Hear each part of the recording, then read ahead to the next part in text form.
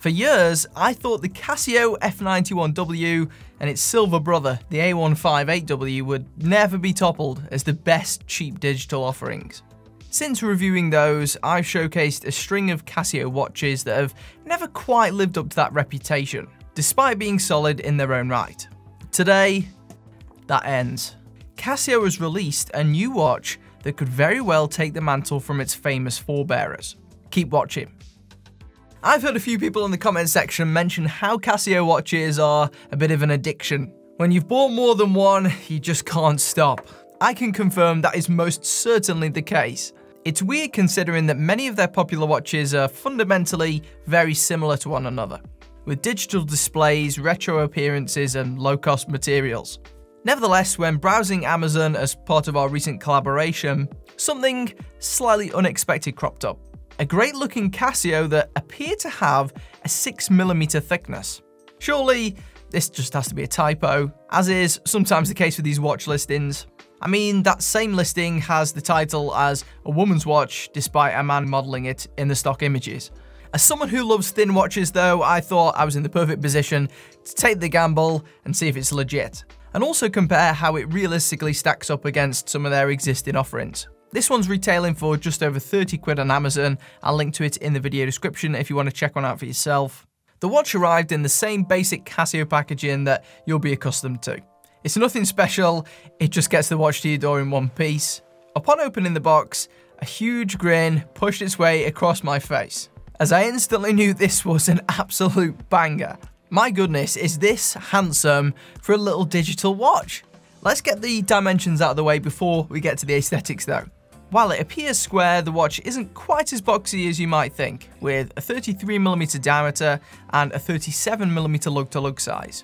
When combined with the bracelet, which we'll talk about later, it sits very nicely on a male wrist. Though certainly better suited to those after a smaller watch. It looks awesome on my 6 and a quarter inch wrist for instance. What looks and feels even better is the crucial dimension, the thickness, or lack of it in this case. So no, the title isn't clickbait, this watch is indeed super thin. They kind of got the diameter wrong, claiming it was 35mm, which must have included the pushers or something, but the 6mm depth is accurate. This surpasses the infamous Daniel Wellington, becoming the thinnest watch I've covered on this channel to date. For comparison, the popular F91W comes in at 8.5mm deep, which is thin in itself, but this A700 does feel notably slimmer. Fortunately, because it's not paired with a large dial like many thin fashion watches are, it doesn't feel like you have a giant frisbee on your wrist and is instead very comfortable. It sits beautifully flat without digging in or threatening to extend over the edges of your arm. I remember having a conversation with my dad a few months back pre-lockdown and he told me how he liked that those DW watches were so thin. Thankfully, we now have a good alternative that I won't have to roast him about. So the dimensions are a great selling point, but are they worth the 40% price increase over the likes of the A158? Well, it turns out that you're not just paying extra for the sake of the slimness, because in person, this watch looks and feels better. Firstly, the case finishing is something I instantly noticed and didn't expect. It's got much cleaner and sharper lines than its predecessor, which could partially be attributed to the angular styling that this watch aims for, though it does feel like it's been executed to a higher standard. Even this small difference is noticeable on camera. Despite the high shine finish, this is still constructed of resin rather than stainless steel or anything, and that's a standard at these low price points. This will scratch and dent over time though, I must say it still looks rather impressive for such a budget material. I particularly like the smaller bulges around the pushers compared to some of the older models, along with the horizontal engraved lines that adorn the lug area. With the A158 and A168 watches in particular, the cases clash with the stock bracelets which are of a completely different finish and tone to one another. On this A700, the contrast is still there, but this time it looks good.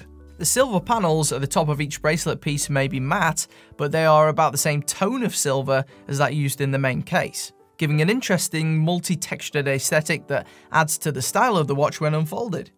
The 18mm bracelet is fairly standard. It's a basic stainless steel mesh with a slide clamp securing mechanism to suit various wrist sizes.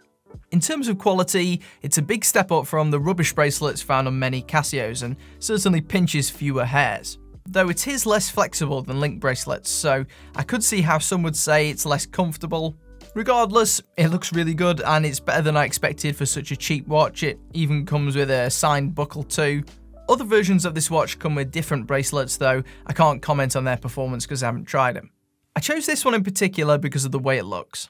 You might consider this one a bit dull, but for me, I like versatile watches which I can chuck on with virtually any outfit and this fits that bill.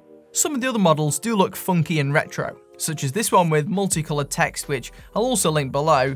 However, I just saw that grey dial with a slight blue undertone and knew instantly that it would suit my wardrobe very nicely. The face has a rather symmetrical design with the logo and text generally positioned towards the centre. I think it looks quite classy and I generally prefer this less cluttered look compared to some of the older watches, though I suppose that's very subjective and it depends what you like. Something that's not up for debate is the display, which is objectively an improvement. While the square-on legibility is about the same as previous models I've tried, the viewing angles are much better.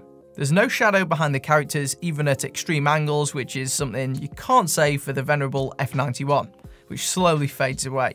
Nevertheless, this is a very minor factor that you probably won't notice in normal usage. The module in here works in the same way as the popular Casio models that you might be familiar with, including the typical stopwatch, alarm features and more. One upgrade is the backlight system. This doesn't appear to be the illuminator technology, rather more of a traditional side light system.